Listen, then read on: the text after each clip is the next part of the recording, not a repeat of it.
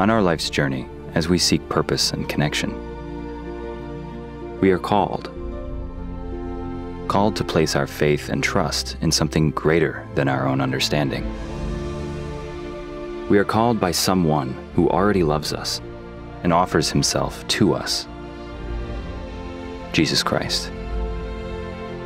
His body, given daily, His blood poured out for us. We never journey alone in life. Through the Eucharist, we encounter His real presence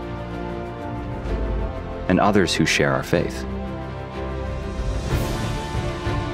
Together, we become one with Him in His very flesh.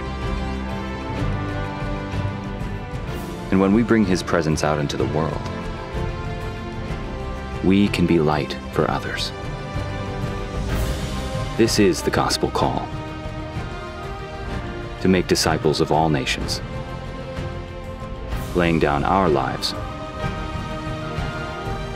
for others. The time is now to unite our hearts with His for the life of the world.